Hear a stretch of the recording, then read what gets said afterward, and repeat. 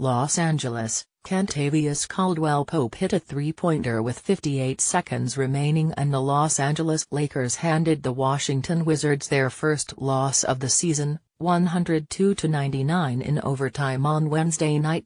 Brandon Ingram scored 19 points for the Lakers, who had dropped their first two home games. Lonzo Ball had 6 points, 8 rebounds and 10 assists in an anticipated matchup against Washington's John Wall. Larry Nance Jr. added 18 points and 10 rebounds. Bradley Beal had 28 points for the Wizards, who were looking to match their best start since the 1978-79 season by winning four in a row. Wall was stuffed by Julius Randle driving to the basket with less than 15 seconds left.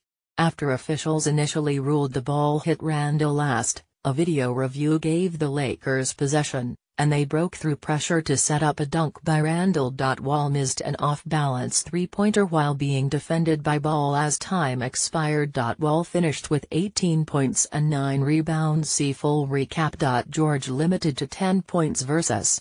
Former team in OKC win Oklahoma City. Paul George was held to 10 points against his former team, but Russell Westbrook's triple-double picked up the slack and helped the Oklahoma City Thunder beat the Indiana Pacers 114-96 on Wednesday night. The Pacers traded George to Oklahoma City after it became public knowledge that he didn't plan on staying with the team long-term.